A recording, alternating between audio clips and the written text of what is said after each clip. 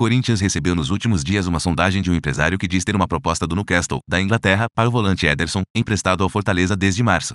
Campeão estadual com o Leão em maio, o jogador de 22 anos tem 33 partidas pelo tricolor, com 3 gols marcados. No Brasileirão, participou de 13 jogos, sendo titular em 11. O Corinthians diz que ainda aguarda a proposta oficial.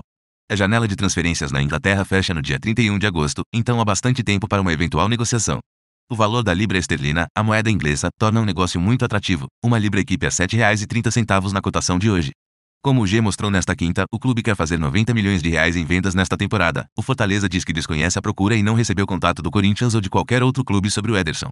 O clube, claro, gostaria de manter o jogador para depois da data do fim do empréstimo, 31 de dezembro, mas o Corinthians sempre considerou essa possibilidade remota. Os clubes não fixaram o valor de compra no ato do empréstimo. Em entrevista recente, Ederson disse que o Leão tem sua prioridade de compra. Isso significa que, em caso a proposta seja mesmo oficializada, o clube cearense teria a possibilidade de tentar cobrir. É importante lembrar que, para um brasileiro atuar na Premier League, liga inglesa, ele precisa preencher uma série de pré-requisitos para que as autoridades deem o visto migratório ao jogador. Convocações para a seleção principal são facilitadores. Ederson só tem convocações na base. O volante deixou o Corinthians durante a gestão de elenco do técnico Wagner Mancini.